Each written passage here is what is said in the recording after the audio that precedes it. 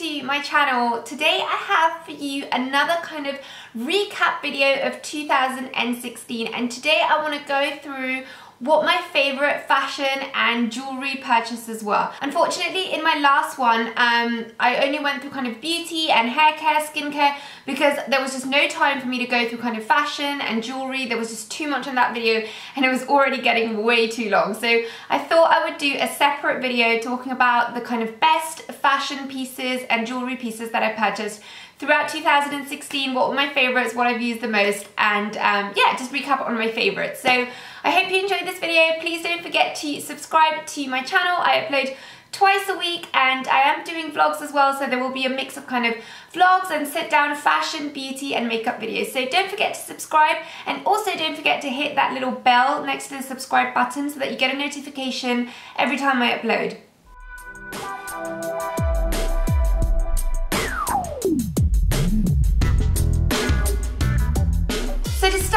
Off, I want to talk about my Ferragamo boots. These I purchased last year in the sale and that was in January. So I've had them for a year now, but they are honestly the shoes I have most worn throughout the year. I purchased them, like I said, last winter and I wore them the whole of last winter and I've been wearing them the whole of this winter and they're literally pretty much the only pair of shoes I wear throughout the winter months because they are so comfortable, they are amazing, they're flat, but I feel like they're still quite nice and dressy because they have kind of gold accents, they've got the gold buckle at the top and some gold accent details at the back and that makes them really kind of nice. I think it kind of lifts the look a little bit and makes them a little bit more elegant. Um, the sole is completely flat and it is a little thick. So it is really nice because it makes them super comfortable and they also keep your feet super, super warm in the winter because I find that really thin soles actually make your feet feel quite cold. So they are just amazing. I feel like I can wear them with pretty much anything. I mostly wear kind of jeans or leather trousers during the day and I feel that these just go perfectly with any outfit and I've honestly worn them to death. So they were the best investment. I think they cost me about £500 because they were 50% off during the sale and they are honestly the best £500 I have spent. Keeping on the topic of shoes, uh, my next favourite shoe were these sandals from Jimmy Choo and these were from their previous collection and but they're kind of in their classic kind of sparkly design and they are the first wedges I've owned um, and they honestly are so comfortable. I don't know why I never wore wedges before. I go to a lot of kind of Indian um, weddings and events and usually our outfits are quite long and they cover your feet. So wedges are just perfect because you can't see that they're wedges and they're so much more comfortable than heels and they're amazing if you go into like a garden party or something that's going to be outdoors and the floor is just going to be maybe grass because heels just dig in and they're so uncomfortable. You can't dance, you can't really walk around and basically your heels get ruined. So wedges are just a much better alternative and I wasn't a fan of wedges ever. I just thought they didn't look great and they made your legs look really bulky but I've grown to love them because of their comfort I feel that these are really nice because the wedge is in like a silver color and the front is also quite sparkly so it does dress up the shoe a lot um, and because it isn't like a full shoe, it's quite strappy. Um, I feel it doesn't look as bulky with the wedge but they are really really comfortable and the wedge is quite high. I think it's almost 10 centimeters. So they give you a lot of height but at the same time they're pretty comfortable. And I think for the summer they're a great option. And also if you're wearing kind of a long dress or a gown and no one's going to really see that it's not a heel I think they look amazing. And the front looks really beautiful. So they were a great purchase. Moving on to handbags, my favorite handbag of the year has been this Gucci handbag which I bought last year when I went to Paris. It has been my most used bag. I have recently grown to love smaller bags a lot more. I was always the big handbag girl and I loved huge handbags because I like to stuff them to the brim but I find that now that I'm not going um, to work to an office and I don't need to carry so much stuff on a daily basis, I just don't need that much space.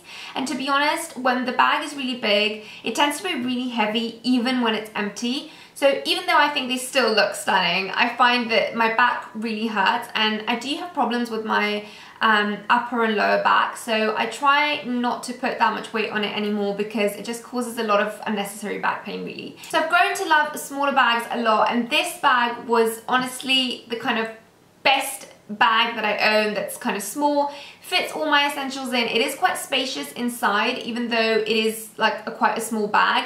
Because it's quite structured, I also like it because it doesn't lose its shape.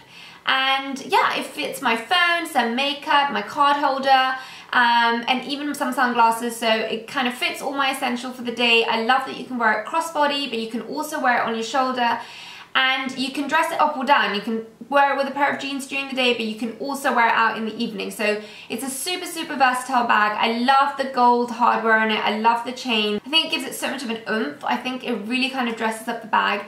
Um, it's in python leather and I love the details on the side that it's like a pink color. I think that pop of color really makes the bag a lot more interesting um, but at the same time because the front and the back is quite neutral it can go with most outfits and I love the gold on the top. I just think it looks absolutely stunning. Moving on to clothes, I discovered oversized shirts this year and they have been my absolute love. I think I think it was last year actually when I started to really kind of fall in love with this oversized trend. The first thing that I bought that was oversized was my Max Mara oversized coat which I featured in about every single post that's on my blog. So you will have definitely seen that one. Um, but I really, really love that. And this year it has been oversized shirts. They have definitely been the star of the show for me. I find them so comfortable. I really like the fact that you can cinch them in with a belt and wear them like that or you can just kind of let them loose and wear them like that as well and they look amazing both ways. They are super on trend. So many brands and so many designers have um, been doing oversized shirts this year and initially I would only wear them with kind of skinny trousers or skinny jeans but actually more and more I've grown to love them with kind of looser trousers as well. I've started to wear them with culottes and with kind of more kind of straight leg trousers and I think they look amazing. It's just about how you style them, maybe tuck in a little bit at the front to just give you a little bit of shape but I think they look amazing with a lot of different outfits and I just love the kind of cape detail they have at the back. And the star of the show for me this year has been this Max Mara shirt that I got um, I think it was around kind of April.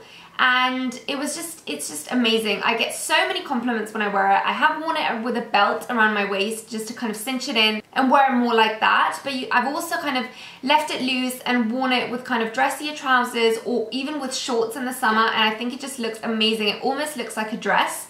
So I really really love it. I love the kind of gold details down the sleeve. I love the kind of oversized sleeves and the cape sort of back that it has. I think it's super, super flattering. It's great for a lot of different body shapes and I love it just because it's so comfortable. Next up is my Massimo Dutti sweater. I love this jumper. I got a black one last year from Massimo Dutti as well. It's the same exact design, but this year I decided to get it in a camel color and they're honestly amazing. They are so nice, so soft, my skin is quite sensitive, so a lot of jumpers tend to be really itchy for me, but this one is just super soft. It's not too thick and it's not too thin, so it's good enough to keep you warm, but at the same time, it's not overly thick that when you're sitting uh, indoors with the heating on, you're just kind of be sweating and feeling really itchy. So um, I really love it. I like that it's not fitted around the waistline because I, I think that is more flattering to my body type. Um, and yeah, it's just a really nice basic to wear underneath blazers or to wear underneath um, a coat. I think it's got so many uses. You can dress it up or down and it's a, definitely a winter staple for me. I really want one in white so I think that's going to be what I'm going to get next year. For tops, my other most worn top is this Kenzo sweatshirt. I got this at um, when I was in Dubai in July and honestly ever since I got it I have worn it to death.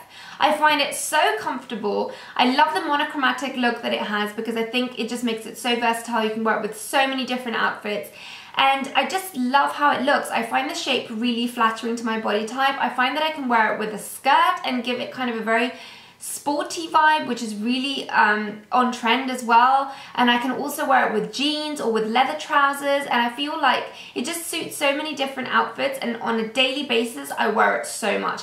I love to travel with it because it's so cozy and so comfy. Um, but at the same time just when I'm you know running errands around London I can wear it with jeans and it's super comfortable and it still makes you look kind of put together because it is quite nice. It's not kind of a scruffy um, sweatshirt.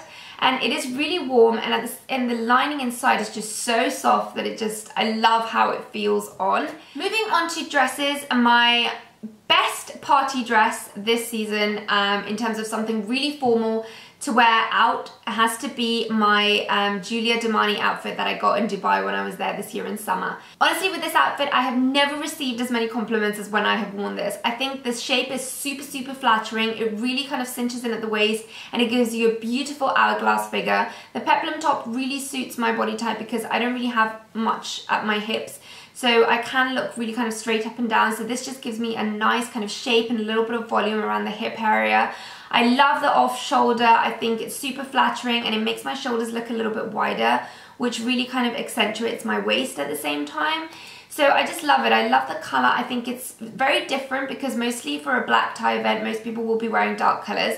So I think the off-white color really kind of gives it a pop and makes it something really special and different. Um, it's got a very kind of breakfast at Tiffany's vibe.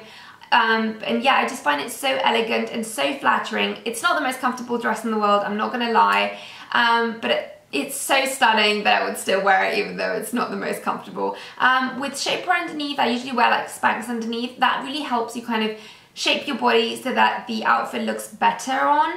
Um, and I think that really helps. And also the material it has is kind of neoprene, so it's quite thick, which means that it doesn't kind of show your underwear or kind of any weird bumps and lumps. It kind of hugs you in the right places, but it kind of keeps your um, figure really streamlined. So I really love this one.